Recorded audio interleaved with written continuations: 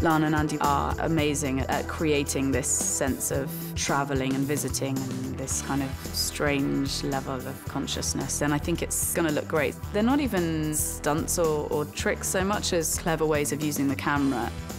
You read these scripts and you're like, how are they gonna do this? And every time we show up on set, it's not any of the 15 possibilities that you had in your mind. It's something completely different. Three, two, one, action! We go. The way they're doing the connection Change. is not by post-production, it's in the moment. It's very choreographed, so they normally they use a piece of wall, they use a shadow, they use things to make us hide and suddenly appear. And we did a lot of cool things where, is this character block the other one? This one we would disappear.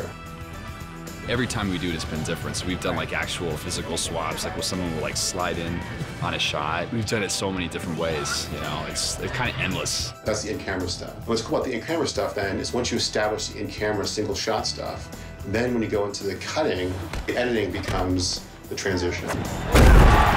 They're all there, then, then in the next take they're gone. And so I'm matching the eye. It's, it's amazing. I love it.